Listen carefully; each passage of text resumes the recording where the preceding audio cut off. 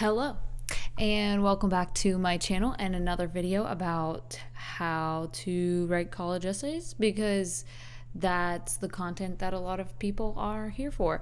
So, um, I finally feel like I'm qualified to make this video and talk about what topics are cliche in people's college essays because this would be coming up. This will be the third year that I am editing people's college essays. And at this point, I have read more than 500 college admissions essays. Um, and I feel like I'm finally ready to have a legitimate judgment on what is cliche and what is not cliche. But I just want to clarify, I guess, that. Um, for a lot of people, when they're writing their college essays, it's like a very interesting moment where they've never really reflected on like the value of their life so far. Um, and there are some interesting consequences of that including that people talk about things that they've never talked about before or never uh, explained the importance of to anyone else. Um, so as a result, um, people will address really sensitive topics, and sometimes that just like doesn't come across in the way I think that they intend it to. So if I throughout this video am talking about people who are addressing those sensitive topics, it's not because I don't believe in the uniqueness of that experience, but more like I have seen people attempt to include or to talk about these things over and over and over. And there is only so much that's possible to do in 650 words or 500 words, depending on where you're applying. Um, there's only so much that you can do. And there's definitely space for a lot of the, for all of the things that I'm going to mention in essays throughout the whole application, but in the Common App essay specifically, I feel like um, there are just certain topics that many, many, many students address, and that won't help you stand out necessarily. Um, and they're also just hard to execute as the essay that is framing you, framing who you are. And that's what the Common App essay is. It's like your main essay that is framing who you are. And um, I feel like in that essay, that's where it is the most important for you to cast yourself in a light that shows something that is unique. I also want to make sure that the aspect that you pick, because every person has multiple aspects of their life that are really important to them, that the aspect that you pick is something that is going to represent you in both a positive light in a way that intrigues some admissions officer and also in a way that helps you stand out and not have your narrative look very, very similar to uh, a lot of other narratives that college admissions officers are going to be seeing. So, um, with that being said, the first narrative that I think by far is the most cliche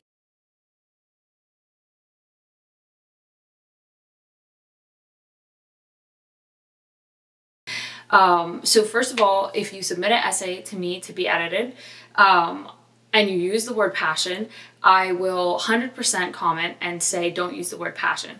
Just because it is such an overused word and it's kind of empty unless you back it up. Every single kid is go can say that they have a passion for biology. It's just it does not no longer communicate anything meaningful. And then the subject as a whole. It's just so number one, um, if you work in higher education at all, you know that especially for me coming from a school that is uh, like a predominantly a pre med school, if you are coming from that environment, then you know that there is a massive amount of people who are going to come in and want to be science, chemistry, or biology majors and pre med basically, or like pre lab science for healthcare. Um, and you also know that a massive amount of those people are going to fall off and no longer be interested in those things. So for me, um, reading essays where students are really like impassioned about whatever biology, neuroscience, uh, research that they want to do for their future um, medical career, I read that and I take that with a grain of salt more than I take any other academic interest with a grain of salt because it just statistically is likely that that person will actually not end up pursuing the thing that they say that they want to pursue. A passionate pre pre med um, is someone who they're like a dime a dozen. So I just recommend against people when they are writing this essay, their main essay that is defining who they are, writing that about their um, interest in science, biology, or something related to pre med, unless it has a very targeted and specific theme that the overarching theme is not like, oh, my passion for pre med, blah, blah, blah, blah, blah. And I definitely think it's fine to write about an experience that made you interested in science, but keep the I'm so passionate about science. I want to change the world in the future dialogue. Like, keep that to a minimum because that's not really telling the admissions officer anything about you because that would be like a quality that you would expect to change and also it would be like a set of qualities that um, probably 30% or more of the applicant pool has declared for themselves as well in their essay. So it just does not carry that much weight to write about that as a topic. So the next one is, and this one is close, this one is close to my heart because I when I thought of writing my own Common App essay, there is like nothing else that I could think about to write about other than at least something related to the fact that I am an immigrant and that my family moved here from South Africa and that I grew up different in a sort of clandestine but still very tangible and very important way and that I speak Afrikaans at home. Um, and I do think it's possible to focus on an aspect of being an immigrant um, and have a successful essay in that way. But there is one kind of immigration essay that I would steer people away from, and this I see this kind very often. Um, and it is the kind of like suffering immigrant narrative. So I understand that a lot of people this kind of surprised me. I think one of the most surprising things that i've learned from editing essays is that people really seem to aggressively take the um, path of trying to show that they had um, significant challenges throughout their life and that they've overcome those challenges. And although grit is important um, i'm just not entirely sure where this comes from because when you only have 650 words and you talk extensively about suffering or challenges that you've been through, it runs a risk of having most of the content of the essay be negative or have sort of like a pessimistic tone. And it just doesn't make the essay seem like, oh, I would pick this candidate because of the identity that they've portrayed here. Um, and especially some people have written essays about overcoming struggles where they just simply talk about having some challenge. And there is no sense of the challenge having been overcome. Like there will be like one last sentence that's like, oh, at least I've learned a lot, but like, I don't know what you learned. Um, and when an essay extensively talks about people having financial difficulties or struggling or being like excluded because of their um, status as an immigrant. And then there's just very little resolution at the end. Like from my experience, which I know that I can't generalize to everybody, but from my experience, it was kind of unclear to me how exactly I assimilated or how exactly I became okay having like this dual identity as both American and having a link to um, a pretty different culture and reconciling that. It's something that you will carry with yourself forever. So it's a little hard to see how that was explicitly overcome other than just over time you become more similar to the people around you and the people around you become more acclimated to who you are. It's hard to tangibly demonstrate how that challenge has been overcome um, because it just sort of is a natural thing for a lot of immigrants to just be like adopt both identities um, so and honestly what i'm talking about specifically um, is the essay where people talk about assimilation and having difficulty assimilating. Um, and people, and this is literally my essay, my first essays that I wrote that were going to be my Common App essay were literally going to be essays about assimilation um, and how I felt different. But it's it really is hard to show how um, you yourself overcame that assimilation. And for me, I'd rather feel um, I'd rather portray my identity as an immigrant as something that is positive and has changed my perspective on things, gave me a different perspective, and how that perspective has enhanced my experience and given me like additional abilities. And I think those are the essays in general that have been successful, at least the ones that I've seen. Um, but when an essay is talking about how, oh, they their parents like spoke a different language and people made fun of them at school for dressing weird. Um, I kid you not, I've probably had more than 50 essays say that they brought food, food to school and people said their food was smelly. Um, just like there are certain tropes that appear over and over and over in immigrant essays and also like their parents caring more about their education. I feel like it's a pretty universal I know there's like stereotypes about people's parents caring about their education, uh, being immigrants, but I feel like that really is like a universe. Like people, a lot of people, their parents have moved to America to give their kids a better life, so their parents are a little bit stricter when it comes to education, and they do want them to have the best. So when you read this essay of this person who, oh, their parents like moved to America with them and they had a difficult time learning English and people said their food was smelly and their parents made them work hard while everyone else was having good American kid fun and like slacking off. It just it's so common. Like it's so common and I just think it just doesn't help people stand out and I also think it's a little bit like for me I was like, "Oh, since I'm one of the only immigrant people that I know um in my experience educationally, like it, there just weren't that many when I was growing up. But in terms of people applying to college, like there's a massive amount of immigrants or first generation kids whose parents were immigrants. There's a massive amount of cultural diversity in people who are applying to college. So it just uh, if you're thinking like that is something about me that is really unique and special and I can represent it in a way that's different from other people, it's actually, I think, a lot more challenging than you think. And if you are going to talk about your experience with immigration, I would recommend that you take a different perspective than the I had a hard time assimilating kind of perspective if that makes sense. And these are so controversial. Like, I'm kind of nervous about posting this, but it's like I am not saying this because I'm trying to be judgy. It is just because I legitimately believe that this is advice that's going to help my clients, and I feel like I'm in a role where I'm like a coach and I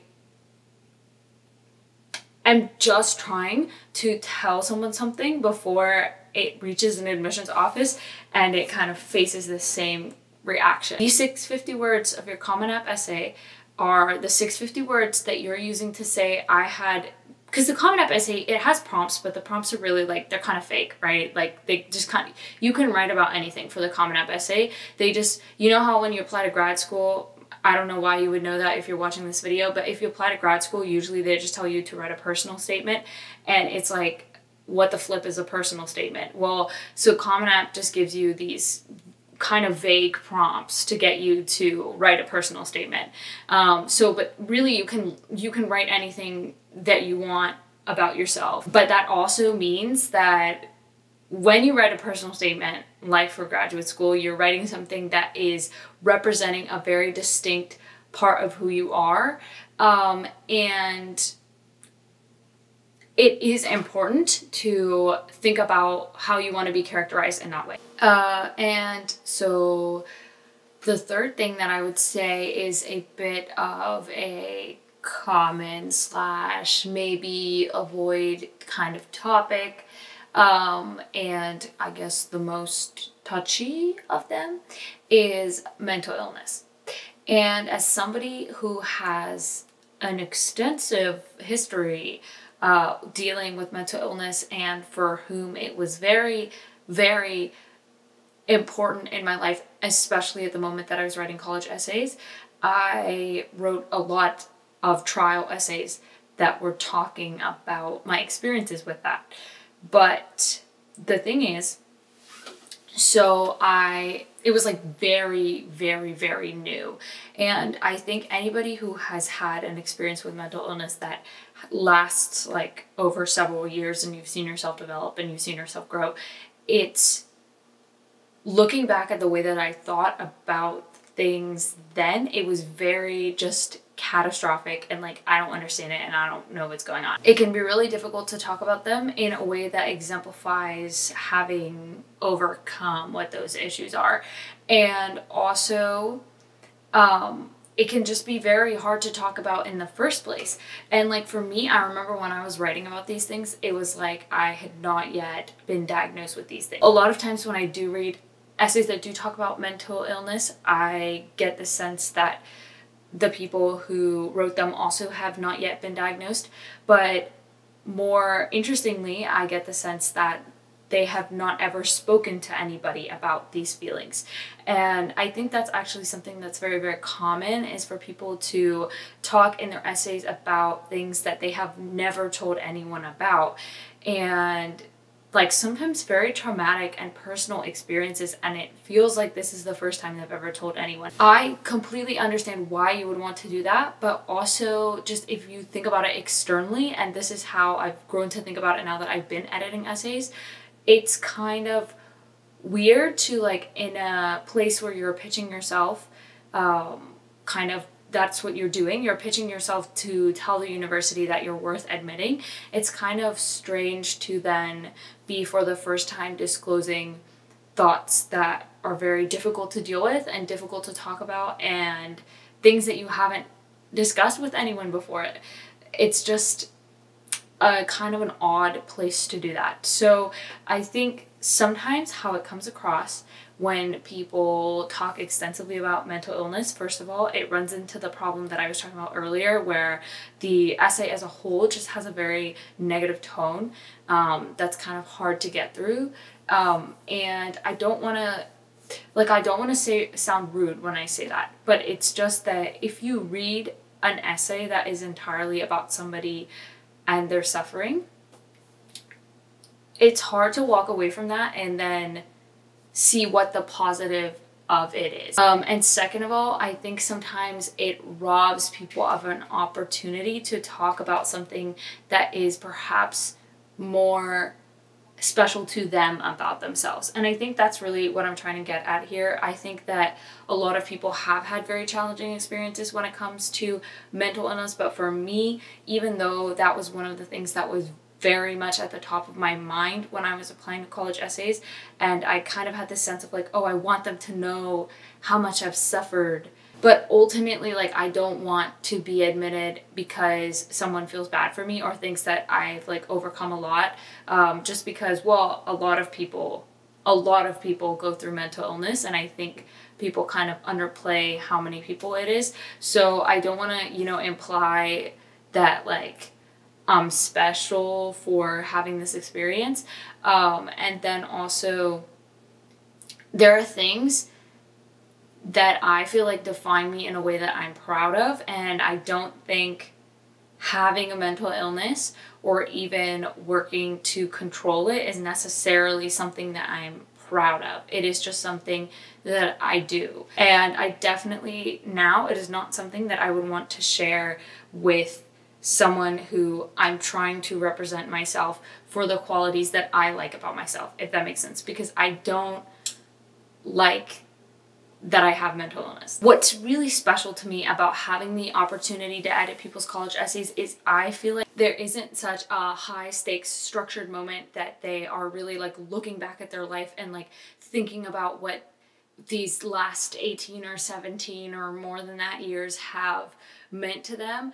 Um, and I think when you're taking this moment of reflection and you're looking back at how do you want to represent yourself in 650 words, what do you want to say about who you've been as a person, like this is a very intense moment of reflection. And I think for a lot of people, it shapes somewhat how they see what they've done so far in their life. And I think it just benefits people most um, in shaping this profile that they're really creating to present to colleges of who they are, what they've done so far, and what they're proud of if they focus on the uniqueness of those experiences and also focus on um, making sure that those experiences ultimately direct towards a positive direction.